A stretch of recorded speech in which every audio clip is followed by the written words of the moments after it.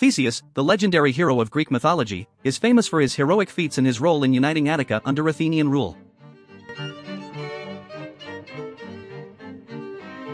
One of the most well-known legends about Theseus is his slaying of the Minotaur, a creature that was half man and half bull. The story of Theseus and the Minotaur is a tale of bravery, cunning, and triumph. According to the myth, the Minotaur was a fearsome creature that was imprisoned in the labyrinth, a complex maze designed by the architect Daedalus. The Minotaur was the offspring of King Minos' wife, Pasiphae, and a bull, and was said to devour human sacrifices that were sent to the labyrinth as a form of punishment. Theseus, the son of Aegeus, the king of Athens, volunteered to be one of the sacrifices sent to the Minotaur in order to put an end to this gruesome tradition.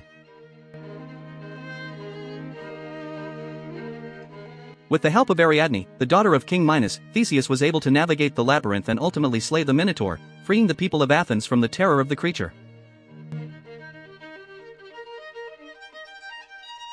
In addition to his heroic slaying of the Minotaur, Theseus is also known for his role in unifying Attica under Athenian rule.